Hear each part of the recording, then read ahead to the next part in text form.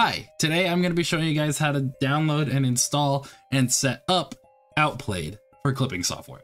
Now, if you came from the Lethal Company mod, how to download mod pack installer application mod manager video, uh, well, I'm going to show you guys how to you use and set up Outplayed. Uh, but if you didn't come from there, you're just going to open up the web browser that you have. Um, it was already up, but Outplayed is all you're going to type in should be the first one that says Overwolf up here, outplayed automatically capture. And then you're just going to download and install this. As you can see here, I already have it downloaded and installed right here. You run this application, it'll ask you the basics that every other installer does. Do you want a desktop icon? Where do you want it located in your computer? All that good stuff. Just go ahead and install all of that. You're going to open it up right here, Outplayed. Once your outplayed opens up, it should look very similar to this, but probably blank. Uh, actually, now that I think about it, on Pawn first installing, it is going to ask you what games you are wanting to use outplayed with.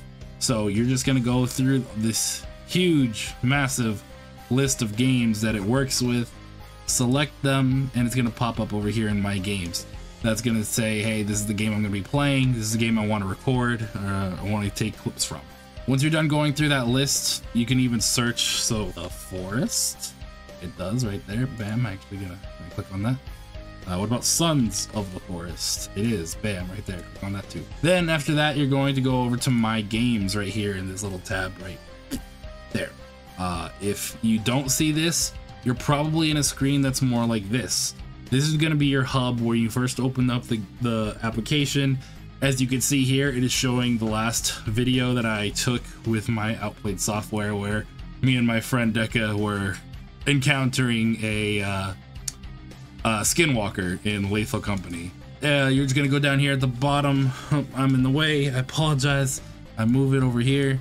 You're gonna go to that icon right there, little gear cog. Once you open up your settings, go over here to the very top one where my cursor is pointing at. It says capture. You're going to set up your quality of capturing. So I have it at 1080p. I have it at this bit rate. I have it at 60 frames per second. You go to advanced options if you want a different encoder, but um, after you set this up, you're gonna go down to audio. Set your device audio. This is gonna be your desktop audio and then you can set your microphone for what's going to go over it.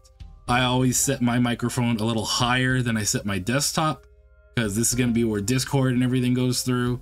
And then this is going to be my personal audio. Since it's my video, I want my voice to be a little above everyone else's.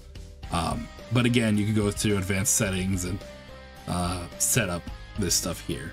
And then you can also set up a webcam. So when you're in game, it'll show you a little webcam at the bottom right you just set that up right here, which what webcam you want, only when visible or always. And then you go down to the My Games tab. This is where all your list of games that you just set up when you installed it should be. Uh, we're gonna go ahead and click on Fortnite here. As you can see, I set it to manual only. If you set it to full session, it's going to record from start of application to end of application. So it'll record your entire session and then you'll be left with a two, three hour video that you're gonna have to go through and it can fill up your hard drive pretty quickly if you do that. So I always set it to manual only because I'm only here using the software for clips. You can even set it per match. That way it's not recording lobbies. Or you can set it to auto highlight auto highlights certain things like uh, anytime you get a victory, anytime you get a kill, anytime someone was knocked out by you, or every time you die. Uh, but I'm like I said, manual only is what I set it to.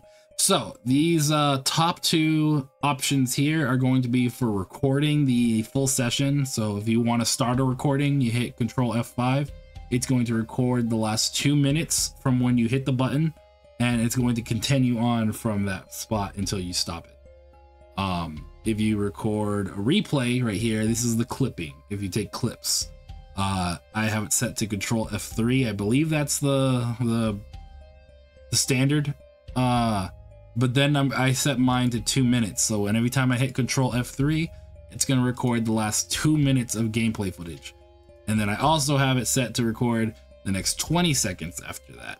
And if you want all of your games the same, instead of going through each individual one and setting the same sections, when you change one, a little icon should pop up here that says apply globally to all games. So that way everything should be the same settings. Uh, two minutes, I'm gonna keep it at that. And then you can also take screenshots and the third section here with uh, the majority of options and uh, controls is going to be just for screenshots. After each game, this should pop up. If it doesn't, you can just click on Outplayed and it'll show you that last session of gameplay. If you hit sessions up here, it'll show you all of the last sessions. I've already deleted the footage for these because I was using them for shorts, so that's why they're not popping up. You can even favorite certain ones if you don't plan on deleting them, and then you can click on here and it'll show you all your favorited videos. I'm not to do that because I delete all of my content after they're uploaded or I store them onto a separate drive. And then I've never used it before, but Outplayed also has a video editor here where you can start new project, import video uh, straight through what I have here. I guess I don't know where this one came from, but let's put them both together. Uh, and then right here you have your two clips, and then you can shrink them down to a certain point from either side. I don't see a... Oh, there we go. Yeah, you set this little bar anywhere in here, and you can cut it, and then you can shrink that down to either side. So you can put the clips... And it, it doesn't look like a bad editing software. I've never used it, though, so this is all new to me. And then up here, I guess, export video. And it exports it together. Let's cancel that because I don't want to do that. Um, but that's pretty much it. It's super easy to set up. Like this is a super short tutorial. I recommend before you start the game, you open up Outplayed. That way it's running and it's active and it knows you're okay. It's about to start recording or you're about to start gaming. Uh, you load up your game, it'll pop up at the top right saying Outplayed is active. And if it says that, you're golden. You can just hit Control F3 uh, or whatever you set your keybind to, and it'll record whatever it is you're trying to record.